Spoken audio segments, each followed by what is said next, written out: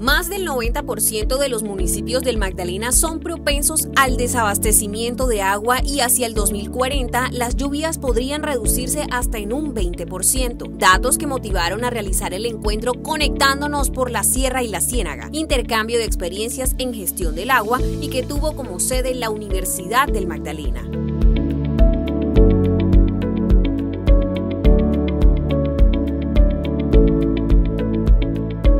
La Universidad del Magdalena, además de anfitriona, ha sido la facilitadora de los eh, medios logísticos y las instalaciones para que se desarrolle este encuentro de intercambio de experiencias, de intercambio de conocimientos y saberes de todas las entidades y las comunidades que están inmersas en las cuencas de esos dos ríos, eh, Frío y Sevilla, y que estamos interesados en el tema del agua como recurso estratégico y vital para garantizar la existencia de las futuras generaciones. Tendremos una participación más activa dentro de la plataforma. Hemos tenido la oportunidad de dialogar con otras entidades también para fortalecer las relaciones y mirar posibles vínculos entre las diferentes corporaciones, tanto públicas como privadas, que están participando de este evento. El uso eficiente del agua pasa por cuatro elementos. Primero es una responsabilidad social, segundo una responsabilidad ambiental, tercero mejora la productividad y por último disminuye los costos en la misma. El objetivo del, del, encuentro es socializar todas las acciones, todas las estrategias que estamos implementando para el uso eficiente y el manejo del recurso hídrico en la Sierra Nevada de Santa Marta. Es muy importante colaborar con los actores locales. Por supuesto, tenemos diferentes canales de valor y por eso estamos apoyando a diferentes actores para mejorar